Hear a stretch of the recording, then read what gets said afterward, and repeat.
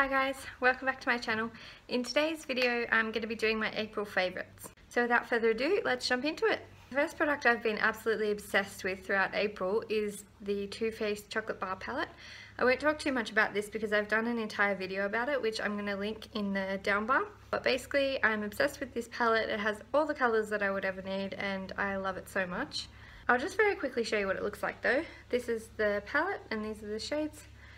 They're all really, really beautiful and really pigmented and I have just been absolutely obsessed but um, I will link that video in the down bar so that you can see a little bit more about the palette if you want to.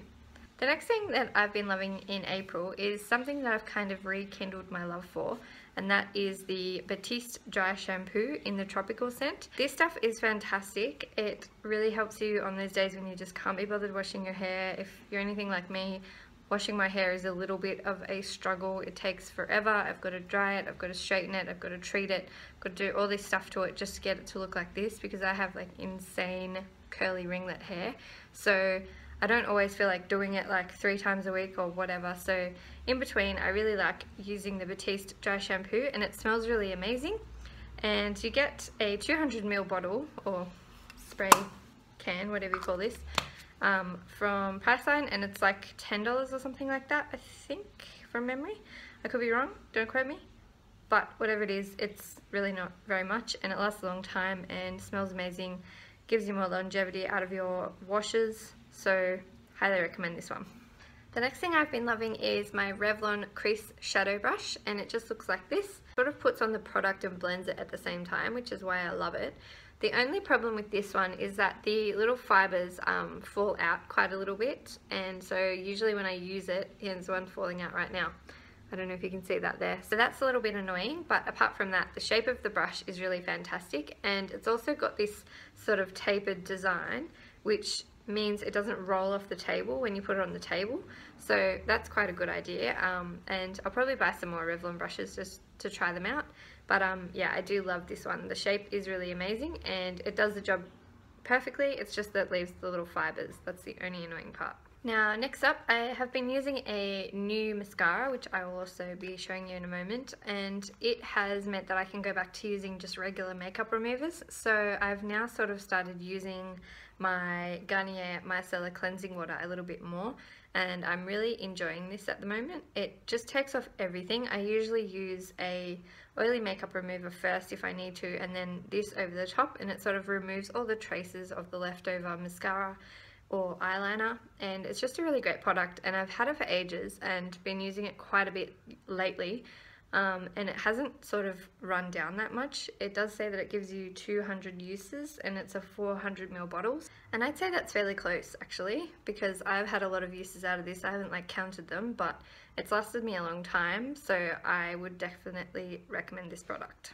Next up I've got something that the lovely ladies at Mecca Maxima kindly gave me last time I was there, which is a little sample of the Ren Eye Lift. This is sort of like an illuminating eye cream and it tightens and illuminates at the same time. So that's what it looks like. I don't know if you can see, try not to pour it on the floor, but you probably can't see, but it's got little illuminating sort of shimmer through it and um, so it gives your eye a nice shimmer and then after it's been on there for a while it sort of tightens the, I'm trying to um, use it to work on my dark circles because they're still really annoying me so this one is quite expensive I think but I think it's about $70 or something like that for the little bottle but I think this is going to last me quite a while this little sample because I've been using it nearly every day and it's still full so you only need a really little bit so I'd probably recommend getting this if you're having a problem with dark circles under your eyes. Next I have the Models Prefer Finale Finishing Powder Compact and this is just a little compact with some translucent powder that I use to set my concealer and this is just a really good translucent powder. The other translucent powders that I had used were claiming to be translucent but they weren't. They were actually, they had colour in them and that wasn't working for me so I just wanted something that was truly translucent and when you put this on you cannot see a thing so this was perfect. Next up I was in Kmart, I think it was, the other day, and I was looking for just general beauty products, anything that I haven't seen or that I might like to pick up. And I'd been looking for a while for a new eyelash curler. I just had the Manicare one and it's just a little bit short. So I needed a wider one. So I picked up this one. Um, it's by the brand U UBU, Ubu? from Kmart and it's this really cool pink and blue color and as you can see the size is quite big so it fits over the whole eye and it gets all those little ones down in there all the little eyelashes down in there. So it's really really good. Next of all I have been looking at this Mimco cosmetics case for a while and waiting for it to go down in price. And then I just decided I don't really want to spend that much on a cosmetics case so I went to Kmart and while I was there I picked up this little one for five dollars. And it's sort of like you can't really tell on camera but it's actually like a rose gold it's obviously pleather but who really cares and then it's just got these little zips and it opens up like this. And it's got a little mirror inside and plenty of space to put stuff. So I think that will be really good for just traveling and things like that. Um, and five dollars you can't really go wrong. So it doesn't matter if makeup spills in it or anything. Um, yeah just just a little something something to bring all my new products. So yeah I like that one the next product is my mascara that I mentioned earlier and it is the Clump Crusher Extensions Lash Blast by CoverGirl. I just picked this one up from um, Coles I think and it's just a really great formula. It's literally the what it says, like the name Clump Crusher is exactly right. It's exactly what it is. So the brush looks like this and it's sort of curved and then the formula is just really beautiful. It does not clump. Like I can put five coats of this and there will be no clumps whatsoever. It's also really good at lengthening the lashes and my favorite thing about it is that it comes off with water because the Ere Perez one that I was using before, I absolutely adore that mascara but it doesn't come off. It's so hard to get off. You have to use oily makeup remover and you have to sort of target your lashes. So I'll be using this one from now on until it runs out and then I'll probably use my other Ere Perez and then I don't know I'll make a decision of which one I want to go with going forward. But for now I'm really really enjoying this. The only thing I don't like about it is the packaging. It's sort of too fat and I sort of have trouble getting it open. I don't know it's a bit weird. Maybe just because I'm used to the Ere Perez which is very thin. But um that's really not a big issue. I mean I'll get over it. I'll get used to it. So yeah definitely recommend that one my next product is an absolute necessity where I live and that is a hand cream. This one is the pink grapefruit hand cream from the Body Shop and it is just what it says. It's a grapefruit scented little hand cream. As you can see I've used quite a bit of it already. They're quite little, um, 30 mils, but I think they're only about $8 or something like that and they come in a variety of flavors. So I have grapefruit, strawberry and mango which were gifted to me by my boyfriend's sister and I'll be using those. And then I'll probably go back for shea butter and coconut because those two sound really good. But yeah definitely recommend this. It soaks into the hands really really quickly which is something I love because I hate having greasy hands after you apply moisturizer.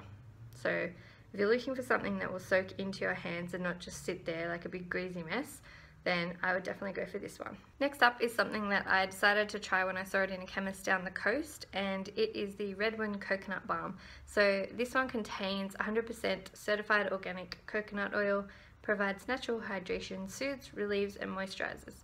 So you get 25 grams, I think it was about $10 maybe and I've been using this as a lip balm and also on my hands because my hands get quite like dry around here in the winter um, not that it's winter, it's only autumn, but whatever, same thing, it's freezing. It is beautiful and it smells like coconut, so you can't go wrong with that.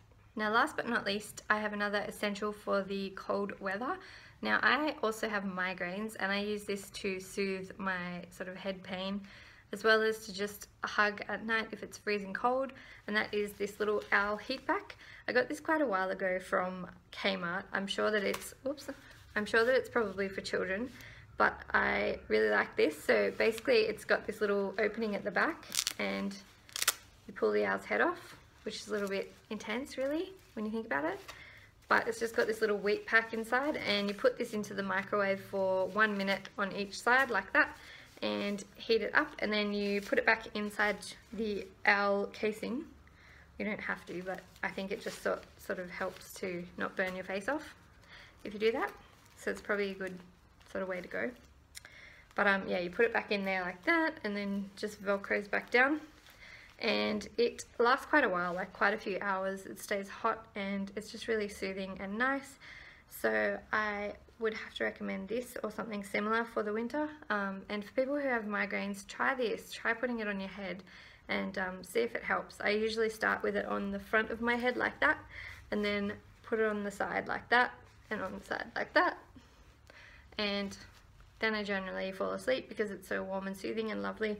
And then I usually wake up without a migraine which is the best thing ever. If you suffer from migraines you'll know what I'm talking about. So I hope you liked this video. If you did please give it a thumbs up subscribe to my channel and leave me a little comment below. Let me know what you've been loving in April and I will see you in my next video. Bye